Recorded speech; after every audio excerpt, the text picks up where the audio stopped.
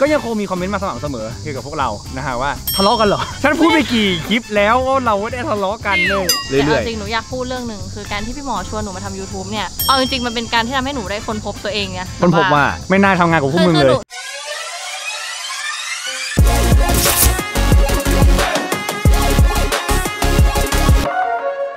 กราบสวัสดีคุณผู้ชมทุกคนด้วยนะยินดีต้อนรับเข้าสู่ช anel ของพี่โอ๊ตฮะและตอนนี้เราอยู่กับแมว แล้วก็น้องสาวเราทั้งสองคนนะฮะเฮ้สวัสดีค่ะวิวยิ้มค่ะโอ้โห ไม่เจอหน้ากันกี่ปีเกือบสองปีโคตรนานแล้วนี่ใครคะเพียววาลินค่ะสวัสดีค่ะ ชื่ออะไรลูกเราอะชื่อน้องไอเสือไอเสือไอเสืออันนี้คือตั้งให้เอง ตั้งเมื่อกี้ ตั้งเมื่อกี้ ช่วงนี้คุณเป็นไงบ้างคะคุณปิ่น สบายดีค่ะ สบายดีใช่อาไหมกาศร้อนนิดหน่อยเดี๋ยวหน่อย ได้ข่าวว่าเล่นซีรีส์ซีรีส์อะไรอย่างใช่งี้นี่เล่นกับคนนี้ไงเออนี่คนนี้เลย ใช่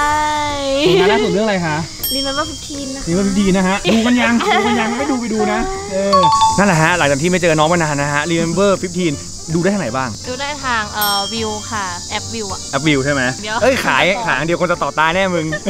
ใครตัดหนมอ้าวเหรอ สวัสดีสวัสดีโอ้ยคิดถึงมากเลย ก็ยังคงมีคอมเมนต์มาสม่ำเสมอเกี่ยวกับพวกเรานะฮะว่าทะเลาะกันเหรอ ฉันพูดไปกี่คลิปแล้วว่าเราไม่ได้ทะเลาะกันเลยเราแค่เติบโตไปในแบบเส้นทางเออเหมือนของเราพูดซ้ำรอบครั้งที่ ครั้งนั้นมันเป็นไลฟ์ครั้งนั้นมันเป็นไลฟ์อ๋อหลายคนอาจจะดูสดแล้วไม่ได้ดูย้อนหลังอะไรอย่างเงี้ยอ่าพอมันเป็นคลิปปุ๊บเดี๋ยวคนดูเยอะขึ้นนะฮะเป็นไงเติบโตไปในทางที่แบบเราชอบไหม happy ไหมทางเนี้ย happy นะคะก็สนุกสนุกอยู่หนูใช่ไหมเหมือนกับตั้งแต่ตอนทำ YouTube แล้วอะแรกๆอะเคยพูดตลอดว่าเฮ้ยอยากเป็นนักแสดงใช่ใช่อยากแสดงซีรีส์เอออยากเป็นซีรีส์เรื่องหนึ่งเออแต่ตอนนี้เรื่องเดียวไม่น่าพอป่ะตอนนี้กำลังถ่ายอีกเรื่องหนึ่งแอมเดี๋ยวรอดูเอ้ยรอดูา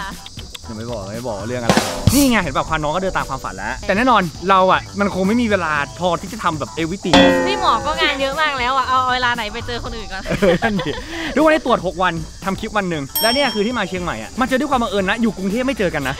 มาทำอะไรอะบังเอิญที่แบบบังเอิญในบังเอิญอะคุณมาทำกอะไรก่อนเชียงใหม่ มาเที่ยวเฉยๆแล้วมาเที่ยวเฉยๆ ทริปเร่งด่วนมากับเพียวสองคนแล้วก็เพียงสองคนนะฮะ ซึ่งตอนนี้ก็สนใจแมวอยู่ น้องน้องดูมีความสุขฮะหมายถึงน้องเพียวหรอไม่ใช่ฮะน้องแมวโอ้โห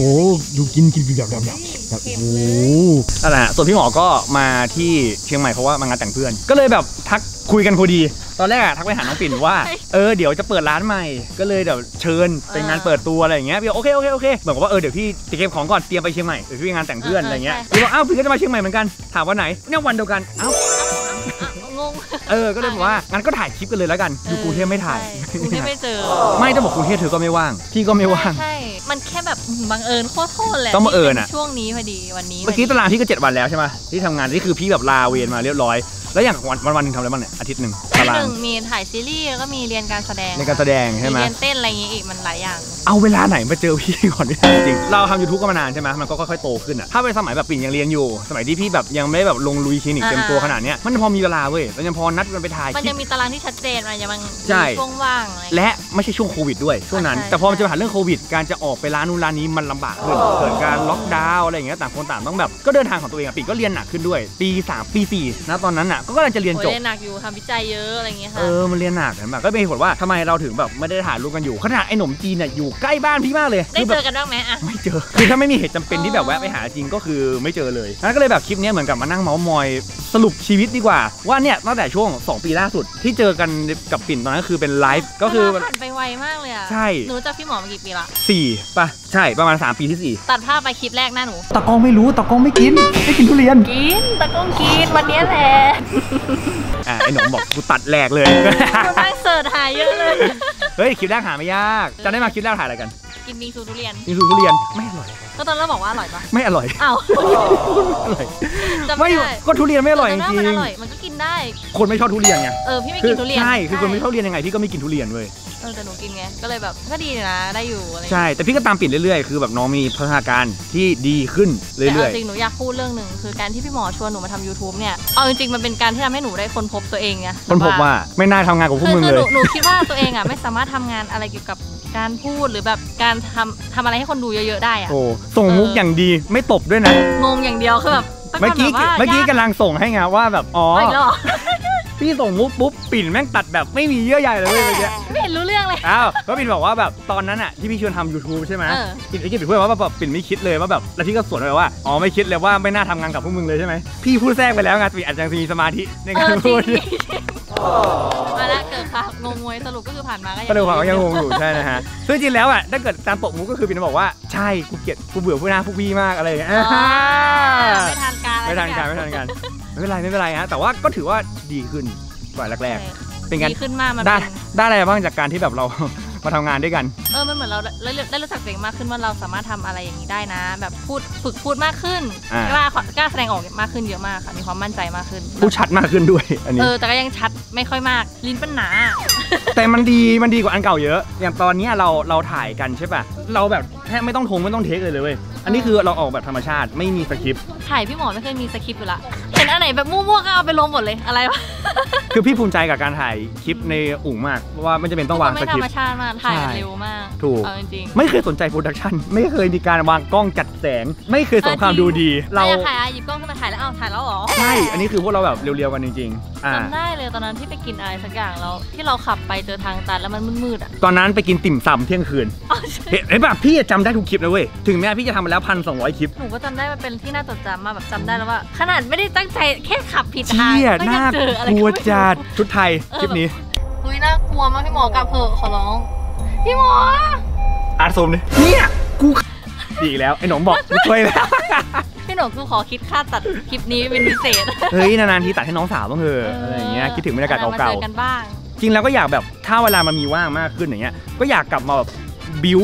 อุ๋งใหม่อีกทีนะ อืมคือตอนนั้นอะ ก่อนช่วงโควิดจะมา พี่อะบิวสตูเลยเว้ยกะแบบโอเคฉันจะทำอินเฮ้าส์คือแบบยูทูบเบอร์เต็มเออเออๆสร้างเสร็จปุ๊บยังไม่ทันใช้โควิดลงโควิดแล้วแบบจบเลยเชี่อออกไปไหนไม่แล้วแบบได้ก็เสียตังค์สร้างสตูไปเกือบล้าน ยังไม่ได้ใช้เลยไม่เป็นไรนะพี่เดี๋ยวได้ใช้ละก็ไม่ได้ใหญ่อนาคตไม่รู้ว่าถ้าพี่ทำคลินิกตัวเอง พี่แบบอาจจะไม่ลงตรวจเอง แต่ว่าลงเป็นคนคุม อืมอะไรอย่างเงี้ยอาจจะมีเวลาว่างมากขึ้น อาจจะได้แบบโอเค กลับมาได้ทำ content อะไรที่เราอยากทำมากขึ้น ทุกวันเนี้ยถามว่าชอบ content ตัวเองไหม ไม่ พี่ไม่ได้ชอบ content ตัวเองใน season ล่าสุดที่ทำอยู่ แต่ด้วยสถานการณ์บังคับที่เราไปไหนไม่ได้อะเรามานั่งแบบถ่ายกันอย่างนี้ไม่ได้ พี่ไม่ชอบนั่งอุดอู้อยู่ในห้องแล้วก็นั่งพูดอยู่คนเดียวแต่ว่าคิดถึงบรรยากาศเก่าๆใช่ดังนั้นช่วงคลิปที่สนุกที่สุดสำหรับพี่นะ คือช่วงที่อยู่กับปิ่นอยู่กับหนม แล้วเราแบบก็สนุกเหมือนกันใช่ออกไปตะลุยกันอย่างนั้นอะจำได้อยู่ดีแบบวันนั้นพี่หมอทักมาไปพัทยานปะอะพยานป่ะเช้าเย็นกลับทุกคนแบบ เอาไปไปวันไหนวันไหนอะ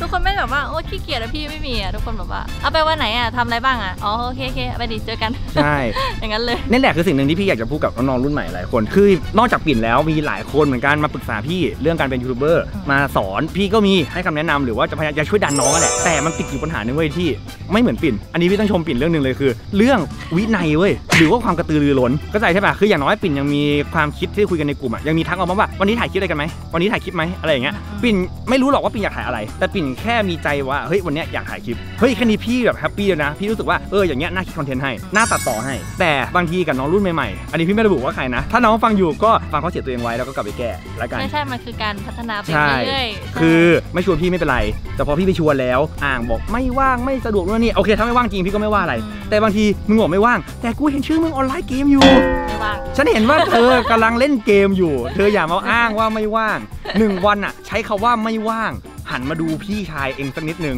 ว่าคนที่ไม่ควรจะว่างอะคือพี่เว้ยจริงเอาเวลาไหนไปนอนกันนอนน้อยพี่นอนสามสี่ชั่วโมงเออเออ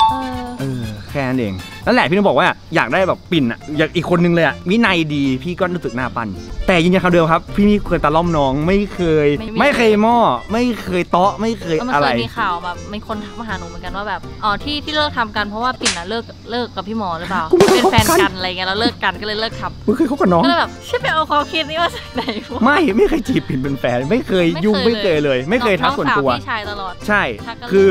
เรื่อยแฟนเราคุยกันในกลุ่มเออด้วยซ้ำใช่พี่ไม่ทักส่วนตัวไม่คปิ่นเลไม่มีย การทักแง่คุยกันในกลุ่มอุ่มตลอดใช่ดังนั้นก็ก็เขาเรียกว่าด้วยความจริงใจอาจจะเพราะบรรจบว่าช่วงนั้นแบบอะพี่มีข่าวเลิกกับฟงเลิกกับแฟนด้วยาๆอะไรด้วยอย่างเงี้ย ไม่แต่คือพี่มีโครงการจะดึงปิ่นอะเข้ามาในสตูอะตั้งแต่แรก ๆ แล้ว คือพี่ในการประชุมมันยาวไม่ใช่แบบคิดจะชวนก็ชวน เออๆประชุมว่าเฮ้ยไอเด็กคนนี้มันน่าสนใจ อืมมันเคยเห็นแล้วมันพูดไม่ค่อยรู้เรื่อง ไอ้ยจริงรู้สึกว่ามันคุยไม่รู้เรื่องเลยมีคนพูดรู้เรื่องว่าปิ่นนะไหนรู้เรื่องไหมไหนจ้าน้อง คุณอร่อยค่ะคุณน้องสาว อร่อยอะไรอร่อยอะไรเฮ้ยผ่านมาแล้วโอ้โอ้โอ้โอ้อ้า